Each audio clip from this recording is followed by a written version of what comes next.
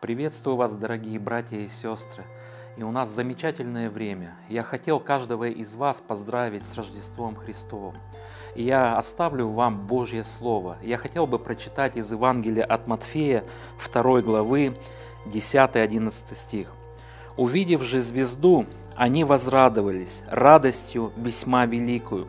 И, войдя в дом, увидели младенца с Марией, матерью его, и, пав, поклонились ему и, открыв сокровища свои, принесли ему дары – золото, ладан и смирну. Дорогие братья и сестры, я советую вам не упускать из виду эту звезду Иисуса Христа, который очень важен в нашей жизни.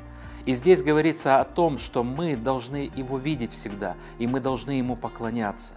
Это то, что угодно Ему. И давайте мы в эти дни поклонимся нашему Господу Иисусу Христу. Я поздравляю вас, поздравляю ваши семьи, благословляю. Спасибо то, что вы есть. Вы Божий народ, и Бог вас любит.